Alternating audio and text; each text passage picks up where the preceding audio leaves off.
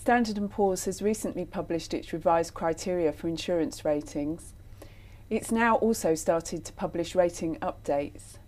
As part of that process, it's been clear that the group uh, structure that insurance companies have is an interesting element in the rating. I'm very pleased to be joined by Michelle Brennan to talk about this a bit more. Michelle, why is the group methodology important?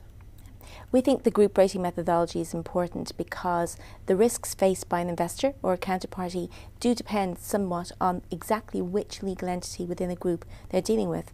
Some legal entities will have various country driven risks, some will have um, other types of business profiles that could be more um, beneficial than other parts of the group. And in the group rating methodology, we think about the impact of being part of that group in terms of are there potential for support from a stronger parent? Are there, however, potential risks that could drag down a part of a group because of risks elsewhere in the in the company? The group rating methodology that you mentioned, how has that altered things for holding companies in particular? Okay. We previously had several separate or distinct standalone criteria articles for holding companies, but in order to make it easier to, to follow, we've put them all into or rolled the whole holding company criteria into the group rating methodology criteria. And what the criteria talks about is how, as a, a holding company creditor, you're often subordinated or at a potentially disadvantaged position vis-a-vis the creditors of the operating companies within the group.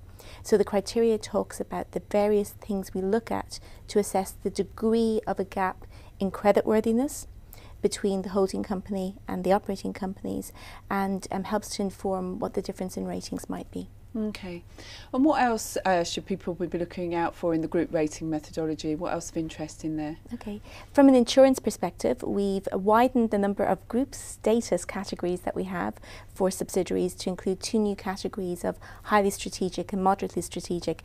Sounds a little bit technical, but that does help to give a wider range of potential uplifts for support depending on the way that the groups are organised.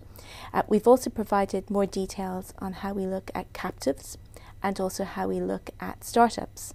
And also, you'll see more information on policyholder guarantees and also other support arrangements that may be in place across groups and how we factor those in when thinking of the subsidiary ratings. Thank you very much. Thank you to Michelle for that quick overview. I do recommend the website we've got on the insurance criteria, which is www.standardandpoors.com forward slash insurance criteria.